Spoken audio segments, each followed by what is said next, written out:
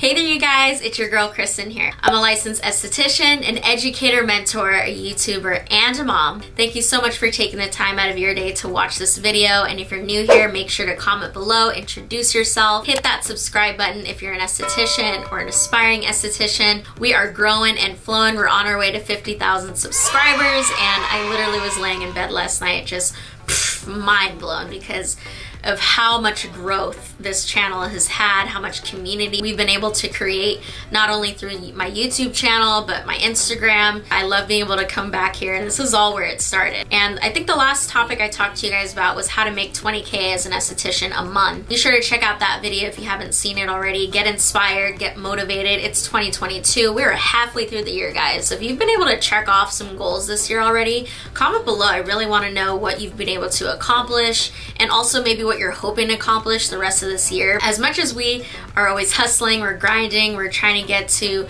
a better income, a better lifestyle, we're trying to service more clients. We really do have to kind of reel ourselves back in sometimes and that's why I wanted to make this video. I know I've gotten a handful of comments before, um, especially from you moms out there. How do you maintain your, your work life and your, your personal life like how does that all work and how do you still pay attention to your, your family? Don't click out of this if you're not a parent just yet. That's why I did name this video work-life balance tips for estheticians. These are tips that are going to be relevant to any walk of life. Maybe you're a solo esthetician running your own business this is going to be even more crucial because you're the boss. You're the one who is dictating your schedule. You're the one who is dealing with all the ins and outs of the business constantly. I wanted to share these tips with you. I've really taken the time to think about this and I hope that this helps. So if any of that interests you, make sure you grab your notebook and your pen and continue watching.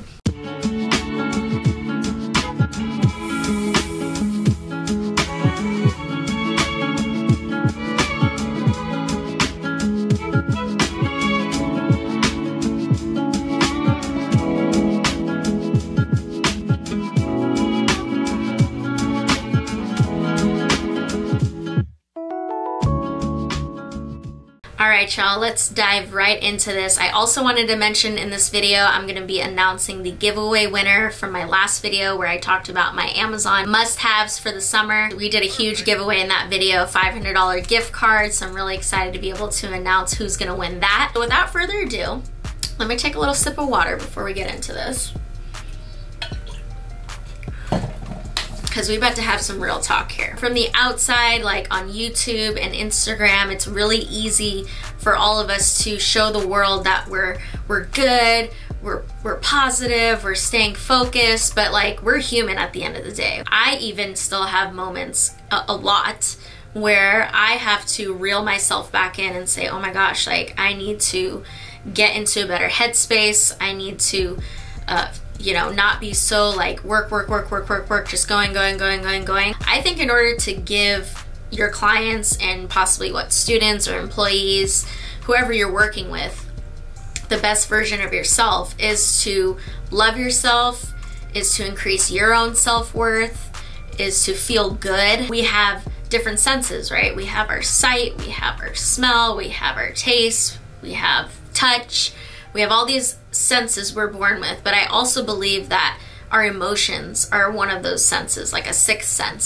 so you could say. I think if you really listen to that sense constantly, like I ask myself every day, how are we feeling today? And I really have been in tune with that. And whenever I'm feeling like uh, down, dreary, I do these things that really help me to like get back to that feeling good, feeling motivated place and genuinely feeling that way. You know, you don't want to slap a happy face on things. You don't want to just go around and act like everything's okay. Hopefully these tips are going to help you not have to get to that point um, because if you're implementing these things like regularly, then you're hopefully not going to get to that point where you're feeling so overwhelmed that you just like want to stop and you want to quit. I'm not even telling you that I'm perfect at this because I definitely have my moments where I'm like, Eh, so there's certain things in your life and try to figure out what those little signs are for you. What is it for you that maybe you notice that starts to happen when you start getting off balance? So the first tip is gonna be to remember and declare your why. I've talked to you guys about this before on my channel. I'm here to remind you because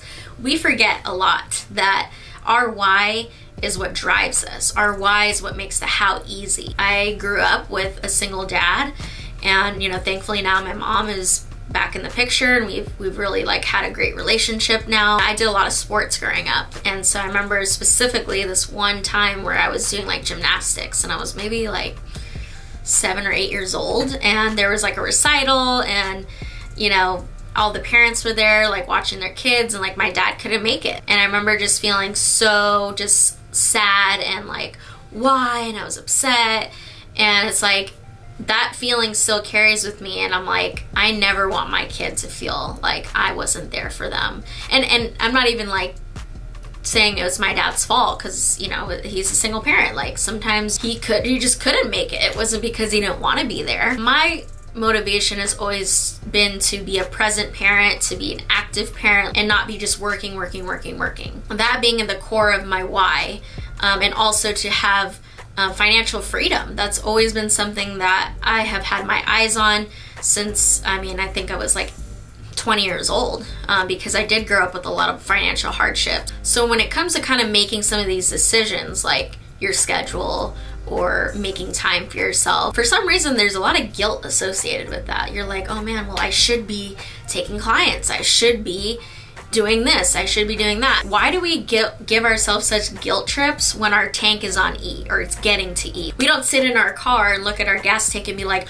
why are you empty? That gas meter is there for a reason. I notice that when that starts happening, I'm like, ooh, I gotta, I gotta fill my tank again. I gotta fill my tank again. The way that I fill my tank again is so being really good about that self-care. We we are in the industry of self-care, and we're preaching constantly to our clients like, you need to come in every four to six weeks for a facial. You need to relax. You need to do this. You need to do that yourself. Be on top of your skincare routine. I just showed you guys my nighttime skincare routine, and I honestly do that every single day, knowing like, hey, I'm taking care of myself and I read my book and I just I stick to that little routine that makes me feel good. So whatever routine it is for you at nighttime or in the mornings, um, stick to that. Don't fall off of that because that's what's going to keep you feeling good. Another thing that I like to do, especially in the mornings, is I meditate. Whether it's five or 10 minutes, I set aside time to meditate. So I put on some like meditative like music, I can actually, I can link it down below for you guys if you'd like. I just, I put it on and I lay on my bed. Don't lay on your bed if you're gonna fall asleep, but if you know you're not gonna fall asleep, then lay down and just close your eyes and focus on your breathing. Don't think about, you know, if you start noticing your mind is thinking about 10,000 things, like start to count your breaths and just be very intentional about listening to your body, clearing your mind, listening to the music, maybe meditating can do well for you like near water or somewhere soothing in nature. Get outside, maybe that's your form of meditation. Make sure that you're alone and you are able to clear your mind and just honestly let yourself get back to that balance. I mean, on average, we have 60,000 thoughts a day. And I'm sure us women have even more. So take that five to 10 minutes a day to really just practice meditation and also throw in some visualization in there. While you're meditating, picture your dream home, picture your dream vacation, whatever it is that makes you smile and feel good. And that's such a great way to start your day. Uh, also, self care can be in the form of like getting a massage regularly. I ended up hiring a mobile massage therapist who has come here a handful of times. She's to be coming to my home next. And I have her come every six to eight weeks. Also, have finally started making time to get my nails done again. So pre-book your appointments, stick to them, don't cancel them, make the time for them. I get facials regularly now, thank thankfully that I have Kristen here. Yeah, just little things that make you feel good because, you know, I know for me when my nails aren't done or my hair isn't done or, you know, I'm feeling ugh, like not so cute, I don't I don't give my best self, honestly. I think that goes for eh, almost everybody on this planet. The next thing I want to talk to you about is when it comes to your business and how you can create some work-life balance with your schedule. Don't open up your schedule, you know, Monday through Friday from 9 a.m. to 9 p.m. and then one that's gonna make you look so available that people are just gonna be like, oh, well, she's free anytime and I can just come whenever. No, like make your schedule limited, give yourself like your self-care and your time to do other tasks because there's things like inventory, marketing, your website, Instagram, like every all the little like details of your business need attention as well. So you need to set aside time to do those things and your self-care and your family and work. So work working on clients needs to also be compartmentalized and you need to make sure you're not overdoing it. And so I encourage you to learn to say no because you're gonna have clients that are like, hey, can I come in at 6 a.m.? Can I come in at 9 p.m.? And I'm like, Heck no. I mean, thankfully, I, I, feel like my kid has been kind of my excuse to say no, but it shouldn't take having a kid to say no. You should respect your life balance, give your clients a set structured availability and so that you can have time to do other things that you need to get done. People are, are more than understanding, you know, especially as a sole esthetician. I think people coming to your business are gonna be more understanding of that because you're not this big franchise that has like thousands of dollars just being like poured in. People understand that you're the backbone of the business, you're the manager, you're the janitor, you're the marketer, you're the esthetician, you're the scheduler. There's a lot of hats that we wear. And so you need to learn to say no and make sure that you create a structured availability for yourself and a time for you to completely tune out. Put away your work phone. You know, don't go on social media for at least one day a week. I make that day for me either Saturday or Sunday where I just I post that one thing like in the morning and one thing at night on my Instagram and the rest of the day I'm like literally just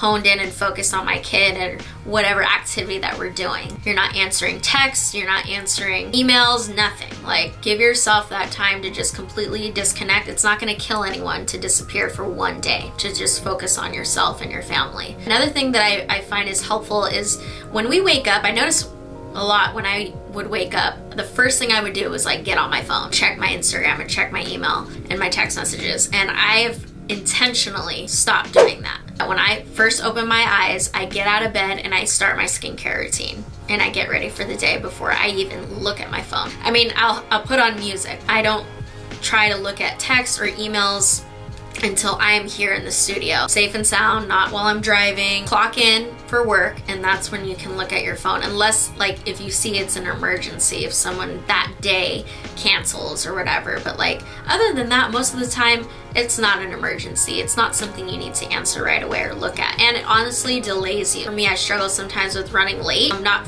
not for clients, but like in general. And it's because like I'm on my phone, I'm checking this, I'm checking that. And it's like, no, you need to put that away and make sure you're on time, that you're you're starting your day off um, in a productive way. Also learning to say no helps you not emulate this this attitude of desperation. I know some of you guys maybe you're starting out in your business and you're like, well, th that's a client. If the client wants to come in at 9 p.m., like I have to take them, I have to take them. No, you don't have to take them. There's certain occasions where you can kind of like tweak things for a client that normally can come in when you're available, but there's those exceptions. You kind of need to train your clients how to treat you and how to respect your time. So I think it's important to stick to that, not have this desperate mindset of like, no, I need to be available for everyone all the time. No, you don't. Trust me.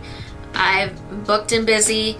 I've built, you know, a pretty decent business and platform and I still have the same, almost the same hours that I've had since I started. Now when I get cancellations, I always ask myself like, okay, before I go and fill this appointment with a person, is there other things that I need to get done? Things in my personal life, things for the business, and almost always I'm like, yeah, actually I could use that hour to get some other things done that are uh, that are just as important as having a client. So I don't always go and post like my availability right when someone reschedules or cancels because you don't want to neglect the other parts of your life or your business. One last tip for you guys before we get into my closing thoughts is to maintain a gratitude journal. I know that that seems kind of like, okay, why is writing in a gratitude journal to help me have work-life balance? When you're feeling overwhelmed and you're thinking about all the like negative things that are happening and why this isn't happening and why that isn't happening, whatever, you know, headspace you're in, like writing a gratitude journal every single day puts things into perspective. We take for granted things so much and I, I know one of my parent classes that I've been taking for my son, um, they talked a lot about mindfulness. And when you're more aware of everything around you and the littlest details, like like almost like a toddler-like mindset, because toddlers don't have a concept of yesterday or tomorrow. So they're living in the present. He notices all the littlest teeny things. He he always picks up like these little teeny like objects off the ground. I'm like, how did you see that? It's almost a refreshing reminder that like we need to have the mindset sometimes of a young child. Recognize and appreciate all the little things that are around us. We're so lucky to have a business. We're so lucky to have one client. You know, I know some of you guys are like, oh, I only have two clients a week. I only have four clients a week. Well, gosh darn, thank God for those four clients. Those four people that have put their money in your hands so that they can get a service from you. And then guess what? Maybe those four people will turn into eight people because they're going to go and refer someone to you. So don't look at one client being like, oh, it's only one client. You know, let's let's practice some gratitude, get a journal, make it very intentional every day to write in there. It's gonna ultimately make you feel better. It's gonna help you to appreciate things more around you. And then when you're getting in those funks, it's gonna reel you back in. I'm telling you this to encourage you to keep going. Don't quit. I've had to make the tough choice of reducing my hours just slightly. And that to me was a little scary because I was like, oh my gosh, they're already pressing me for like evening time slots. It's just made me more more motivated to keep working hard because my kid's about to be in preschool soon and that's to be a whole different schedule. I'm just sticking to what I've been doing and staying motivated and I have to remind myself like that's why I got into this. That's why I wanted to have the freedom of my dictating my own schedule and I'm telling you guys you keep going, keep building, keep grinding, keep working, you will get to that point. Make sure your tank isn't getting to that E level and get it to go back up to full whenever possible because um, people will feel your energy. Now, on a lighter note, um, let's get into this giveaway winner, okay? Stay tuned. Hey guys, I'm here in my room and I just entered in all of the names, the 133 entries for the Amazon $500 gift card giveaway winner. And I'm really stoked to be able to pick this winner. Before we dive into that, again, I just want to say thank you so much from the bottom of my heart for your comments, your encouragement, your love, your support. It does not go unnoticed. And I'm telling you, sometimes I'll feel down and like, why am I doing this? And then I just go and read your guys' comments and it just makes me feel like like a million bucks. So thank you so much. You inspire me as much as maybe I inspire you. And so we're in this together. We are a team. And I am just so excited to be able to give this amount of money from Amazon, which I feel like is pretty life changing. Like you can buy a lot of things for $500. So I really hope that this is a blessing to somebody. And without further ado, let's pick that winner. Got my laptop here. And here's all those names floating in there. Let's go ahead and spin this baby. Let's go.